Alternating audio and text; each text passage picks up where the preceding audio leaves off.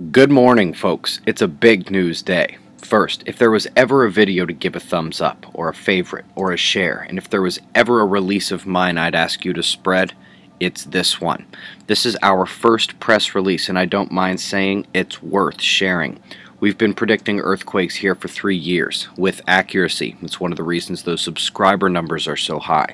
So we decided to try to prove it using solar polar magnetic fields. You will read how Dr. Holloman of the Ohio State University Statistical Consulting Service developed the algorithm. You will see how we nearly doubled the accuracy expected if there was no correlation.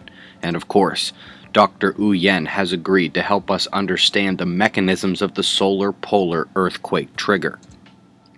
You can read it on our website or go directly to the document. You can print it, download it, and as I said, sharing is encouraged, including for monetary gain. I'd like to ask for your help in sending this to news outlets, traditional and online. We would really appreciate your getting this out of the darkness and into the light.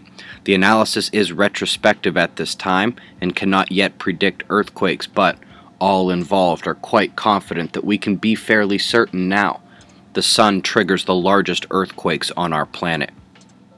Speaking of earthquakes, you might remember that we're in a significant quake watch right now, and boy did it just kick in.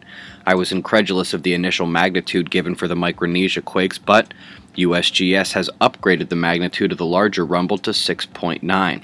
We also saw a 6.1 in China just this morning.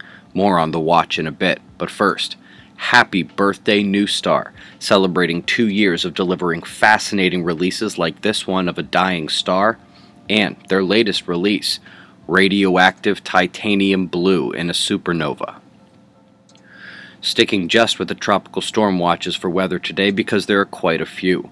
Our two Pacific storms are still strong, heading for Korea today, and the other still waiting to charge north of Japan.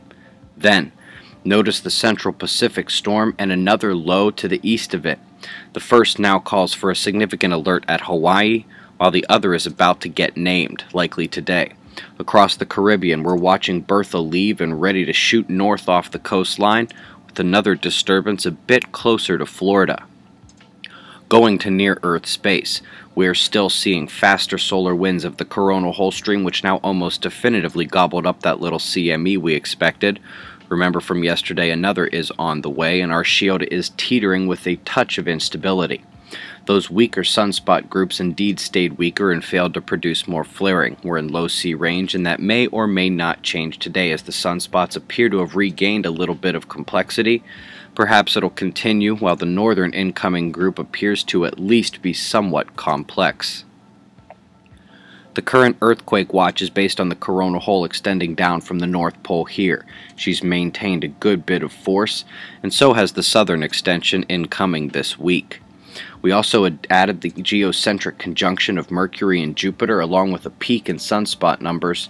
Hopefully China and Micronesia capped off our pressure release, but the watch must remain in effect another few days.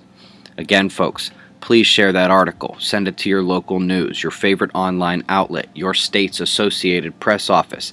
Anything you can do to help drive this new branch of solar science, of space weather, of geology. This work belongs to the observers, all 188,000 of us. Let's show the world what we've been building for the last three years. Eyes open. No fear. It's 6:20 a.m. Eastern Time and that's the news. Be safe everyone.